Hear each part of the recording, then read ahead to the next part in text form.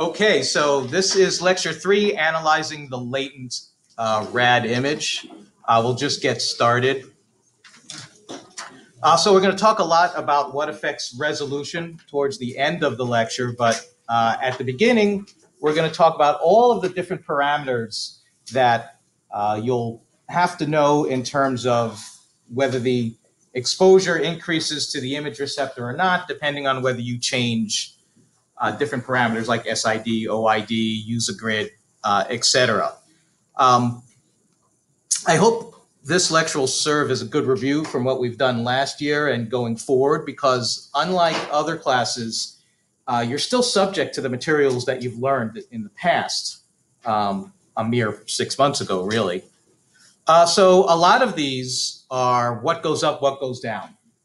Uh, also, keep in mind that um, if the arrow is extra big and fat, then sort of it's an exponential property. So for example, um, here it- it's not going to be, it's just that MA, milliamperage, right, directly affects uh, and is in direct proportion to the exposure received to the image receptor uh, and to the patient for that matter. Um, but we're looking at the IR being image receptor. So milliamperage, what happens when we increase that? The filament will burn hotter, not longer, because that's time. This is just hotter and thermionically produce more electrons, which will ultimately turn into more photons. And you get the idea more photons equals more exposure. Up we go. Guys, want to take this one? If the time increases, what happens to the exposure? Increases, same thing right? Uh, except now uh, the MA was determined, so our filament is a certain temperature, but now how long do we keep it on essentially and continually uh, increase thermionic emission? And again, more photons over that period of time will lead to higher exposure received by the patient and the image receptor. So mass, we should know this, it's a combination of MA and time. So naturally increasing total mass is going to increase exposure and dose to the patient. Certainly exposure uh, to the image receptor. How about KV? Increase KV, what happens to exposure? Up or down? Up, right? There's a page in the book that kind of shows you uh, an example of, of two different KV levels, and you can see that more uh, photoelectric effects occur. Um, photoelectric characteristic effects occur uh, when you increase your KV? But that's a big, big up, right? Because think about it. Uh, just an increase in 15% doesn't mean that your exposure goes up 15%, right? The rule of thumb is that it will increase 30 to 50%, almost double uh, when your KV goes up just a mere 15%. That's why much larger arrow than what we had for uh, MA time and mass. It even takes its time going up. Okay, generator. So generator says that uh, if we have a stronger, more efficient generator, like a high frequency versus a single uh, generator, like a three pulse or six pulse, that it's going to give us a more efficient beam and generally a higher beam, right? So if you set 85 kV with a high frequency generator, you're going to get close to 85 kV photons, right? Which will lead to more exposure to the plate because thus, when you think about it, stronger photons are more likely to be in the remnant beam than get stuck in you and make it to the image receptor. So it's up or down, depending on whether your generator is getting more or less efficient. Any questions on generator? Again, just like last semester, I told you I wasn't going to go terribly into generator in this course, except for how it changes the exposure to the plate.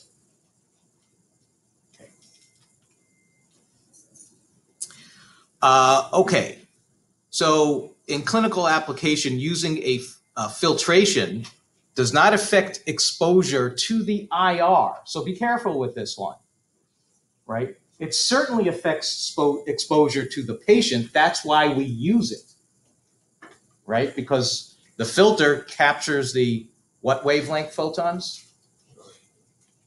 The longer ones. I mean, at some point, you know, where does short become long? But in general, the longer ones, the weaker ones that would get stuck in the patient never make it to the image receptor. That's why if you read this, uh, I try to clarify that in here and, and hope that you understand. We're talking about the exposure to the imaging receptor, right? It wouldn't change whether you take the filtration out or not, uh, because that would only change the exposure to the patient. You guys on the same page with me? Okay. So uh, there really should be no effect on the exposure to the image receptor. Now, a compensating filter is different, right? The compensating filter, its main purpose, uh, anyone use that in clinic, compensating filters yet, like for a foot or for spine work? Like anyone see full length spine? Anyone else? Right? Uh, when they use when they use a, a full length spine, like one big, long three foot cassette, right? There has to be a filter built either into the cassette or like a wedge that's placed on the actual end of the tube in order to reduce the radiation going to the top portion, thinner part of the spine versus the thicker part of the spine should be the thinner part of the wedge to allow more radiation through. I hope I said that all right because I don't want to edit this. There'll be no editing. Uh, okay, so in terms of filtration, again, a compensating filter may change the exposure. It probably will compared to if you didn't have one. Right? If you're using a wedge type compensating filter, some portion of that beam is going to be eliminated and never make it to the remnant beam. So a compensating filter will definitely change the exposure and it would reduce it because at some point it's blocking some of the radiation and allowing other parts to go through.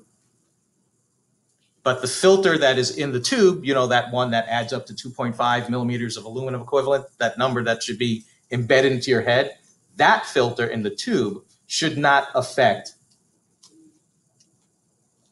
the radiation felt by the image receptor. Good, good, good. Okay. Sometimes I think to myself, I understand. But um, you guys need to understand. Okay, so variables affecting exposure image receptor. When it comes to field size, in other words, collimation, when the field size is increased, which basically says that you're not collimating, right? It's the opposite of collimating when the field size gets bigger you're including all that scatter, you're irradiating more, right? You're not cutting off any of the beam. So the uh, exposure to the image receptor is going to increase and to the patient. See, I might as well add a and or not and to the patient for some of these. And it's not always the same, although it's the same for most of them. Not filtration, no. Okay, part thickness. Well, if the part thickness gets bigger, you're going to have what happen? What happens to the beam? You're going to get more absorption. Uh, and this is the whole rationale for why we increase our exposure when we go from, I don't know, a, a sthenic patient to a, uh, what is it, hypo Hyper. Hy- hypo is low. I'm not editing. Okay. So in this case, in this example, right, when the part thickness goes up, and this is a big, big arrow, exposure goes way, way down because uh, what would we need to change? What's our rule? Two inches, four kV for every two inches is is the adjustment. Well, what's a four cm? Four cm, I mean right? Um, so remember, and that's talking about changing your KV. KV is an exponential parameter. So uh, you really need to increase your exposure when patient size or the object gets bigger. Variables affecting exposure, like the patient condition. So this is very similar to uh, the object size. So patient condition, pathology, uh, there's a big up or down on this because, for example, if you have osteoporosis, you don't need as much uh, exposure. And if you have, I don't know, ascites, a buildup of fluid, uh, then you're going to need more exposure. So this is depends on the pathology uh, in terms of whether your exposure goes up or down. No questions, right? This is pretty obvious, I would hope.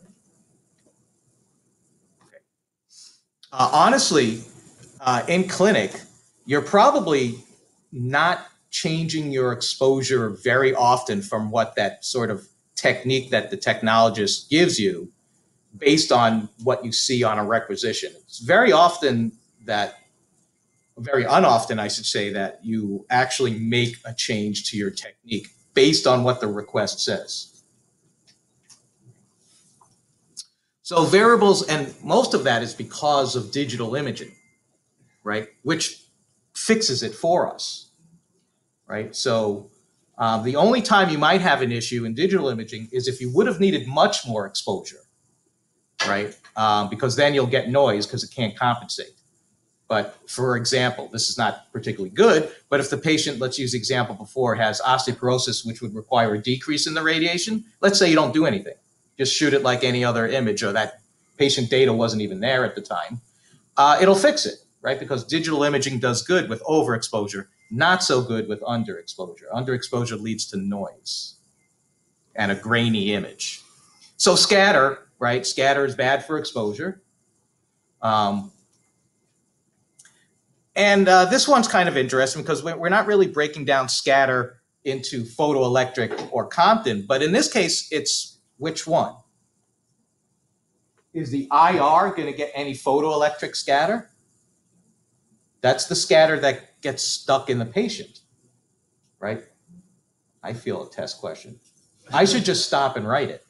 Um, because there's a distinction here, right? It doesn't say which scatter, but you should know that it's all Compton because the only thing that the image receptor can receive is Compton, right? Everything else gets stuck in the patient I mean, you could say that the Compton never makes it to the cassette and hits the wall. That's possible also, but it's definitely not going to be photoelectric, right? Main major occupational dose uh, or dose to uh, mom or dad or whoever might be holding a patient, which you know I don't want to go on a tangent, but this shouldn't happen too often. Their dose is going to be directly from Compton scattering. Well, I shouldn't even say that. Most of it right? Unless they actually have their hand on the on the image receptor or in a, in a primary in the primary beam. I've seen that uh, actually often enough. Yeah. So you know, you baby comes in for a hand, and mommy is like, well, the first thing I do is tell them to hold the hand, and inevitably they go like this. Well, so that's not going to work, right? But even if they're holding, so I'll tell them at least you know try to hold down on near the the wrist a little bit. But if their fingers or anything shows up uh, in the image, um, that wouldn't be scatter, right? That would be, you know, remnant beam to them, which is bad. That looks horrible. Pound cropping. No, no, no, don't don't do that. You know there's been instances where uh, that has happened, and the radiologist has picked up something on the person who's not the patient.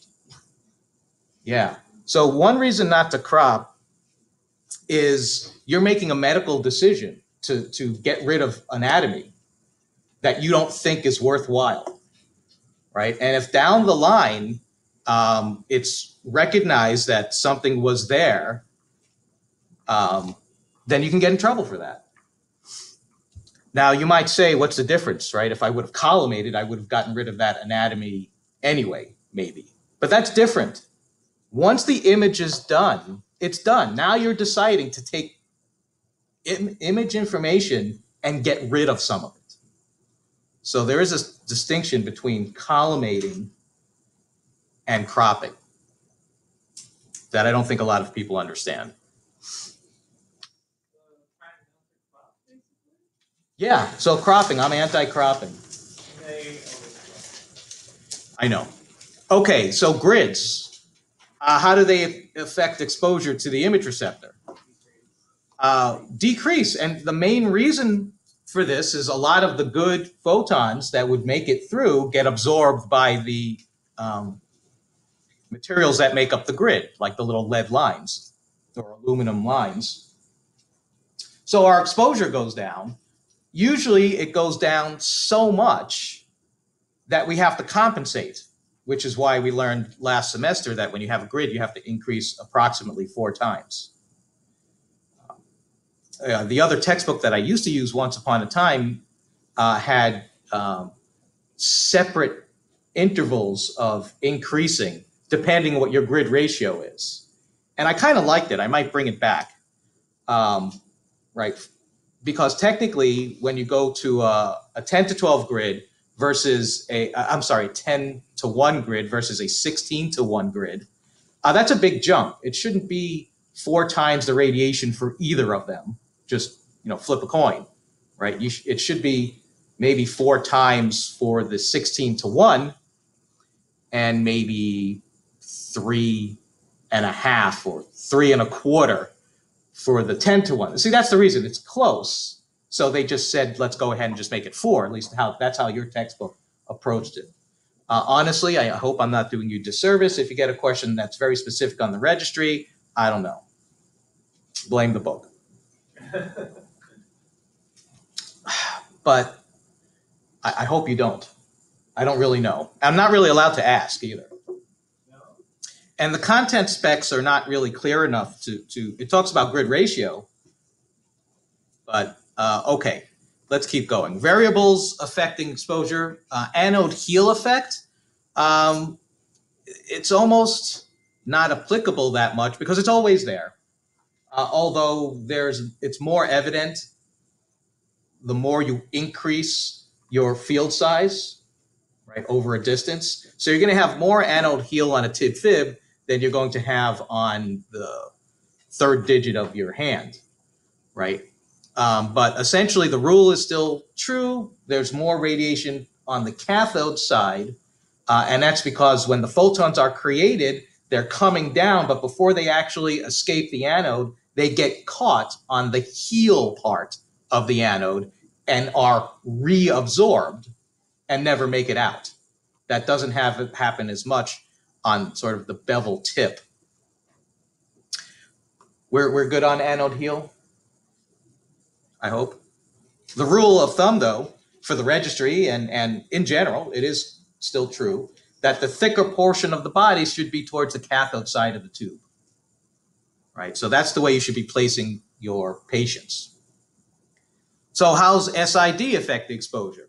So again, you can see it does so in a big way and based on the quiz we just had, it's based on the inverse square law, right? So, um, you know, when you double the SID, right, your radiation doesn't just half, it goes down to one quarter of the amount you started with, right? So that's why I have the big fat arrow.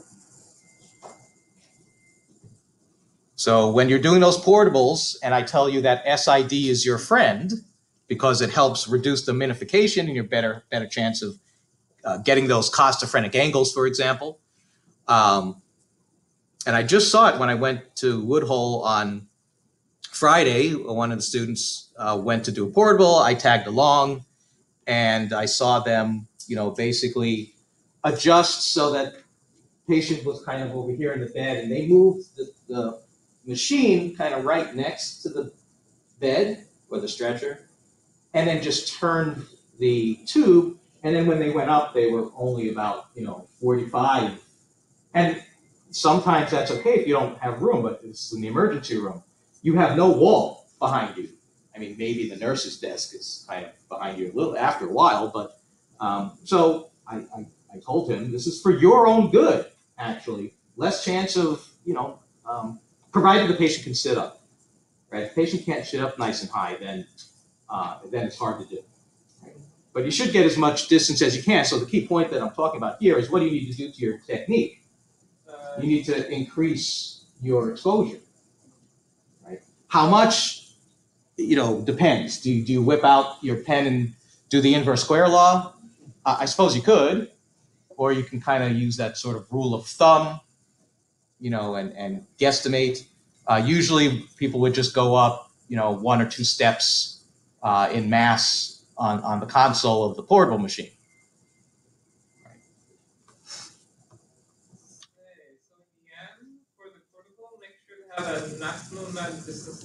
Well, be careful about maximum, because if you go to 100 SID, right, and you, you could, and you could adjust your technique, but then the images would get minimized and it might look like pathology. So you don't want to go beyond 72, right? Uh, and you really should annotate or note the, the image. Are, are you guys, you guys are looking at me like, in clinic, they went to like 118. No? Something else? It was like ten. 10, 10 what? 10 SID? That's radiation therapy. What do you mean 10 SID? That's that's no good. You mean they were like right here? Like really close. See, that's uh, so. So in their example, that the the they were really close. Is that because they couldn't get the room? They just were lazy.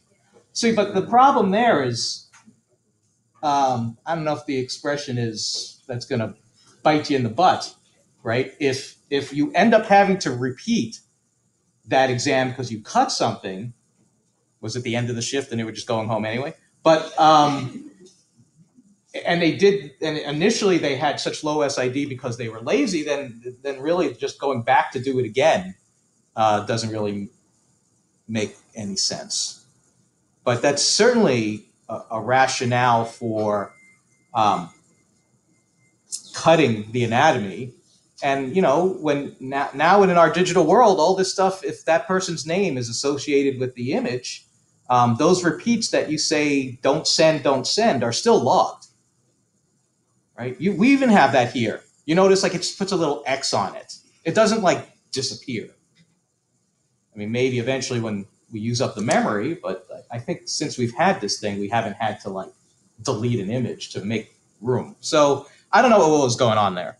Try not to follow that example for your own good. And it, I can guarantee that they used the same technique that they would have used at 40 or more which means the patient got even more exposure too. We'll have to talk offline.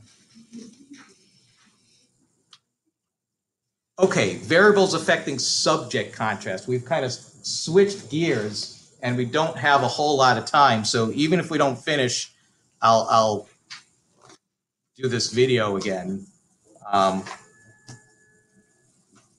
and we'll see. So um, what do we have here? KV versus contrast. So it's minimal now, right?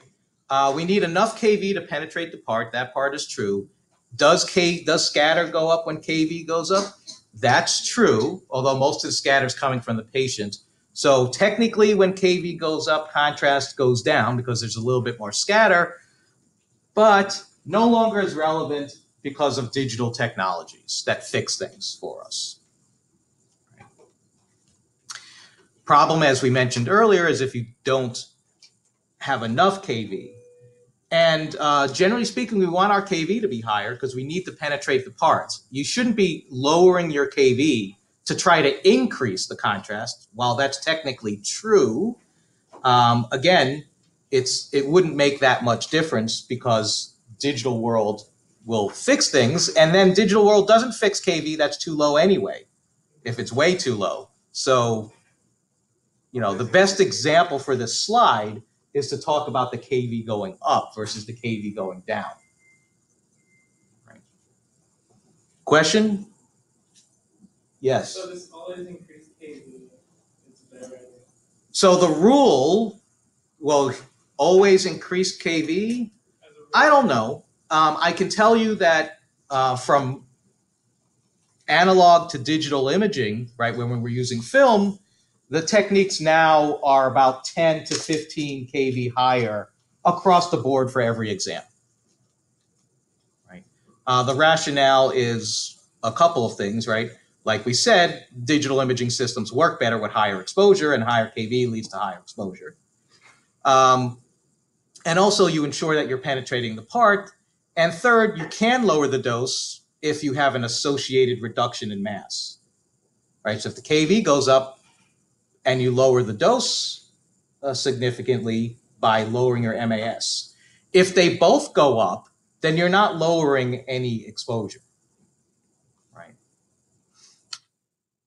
Uh, generator, again, uh, in terms of contrast, and the reason why, I mean, if you understand the last slide and you think about generator as giving you um, more KV, like a higher percentage of photons are going to have a higher KV when you go to a more efficient generator, that's essentially the same as saying, I'm starting with a higher KV. And what does KV do to contrast?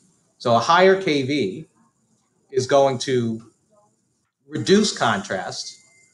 Thus, in a way, a more efficient generator could lead to a small reduction in contrast.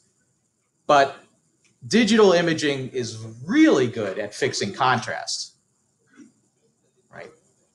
Uh, provided that you have at least enough KV. You guys understand? When you're working with generator questions, you really need to ask yourself, is my KV overall, right? So it's kind of like a bucket of water that with an inefficient generator is going to have a lot of different KVs and not so many at the actual KV level that you set. Go to a more efficient generator, pretend it's a bucket of water, right? The, the photons in there are going to be more likely to actually be the KV that you've set.